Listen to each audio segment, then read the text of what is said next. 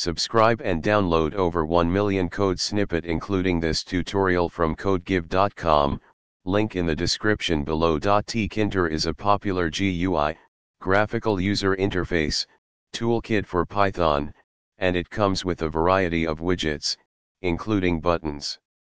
In this tutorial, we will explore how to set the text size for a Tkinter button using Python.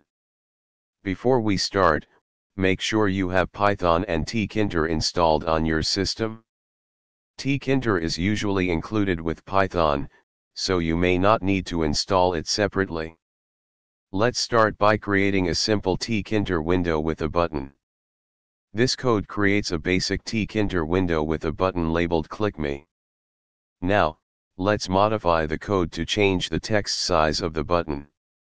In this example, we import the font module from tkinter and create a custom font using the font.font class. We then use this custom font when creating the button by specifying the font parameter.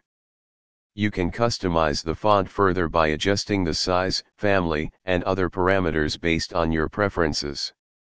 Setting the text size for a tkinter button is straightforward using the font module.